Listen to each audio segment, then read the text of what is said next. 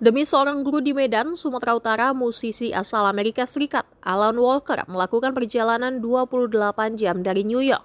Kekaguman Alan Walker dengan guru di SMA Al-Azhar Medan itu lantaran video para siswa dan guru viral di media sosial saat membawakan lagu Who I Am milik Alan Walker.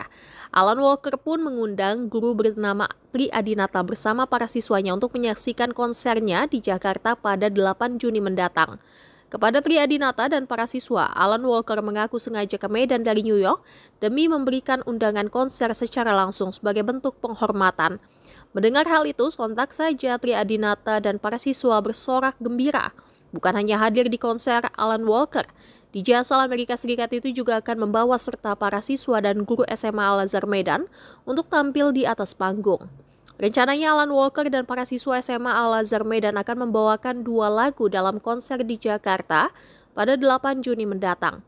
Namun pihak Alan Walker masih merahasiakan dua lagu yang akan diduetkan dengan para siswa nantinya. Diketahui Tri Adinata akrab disapa Sernata adalah seorang guru musik. Ia kerap kali mengunggah kegiatannya termasuk merekam suara emas para muridnya di media sosial. Bahkan Sernata telah lama viral.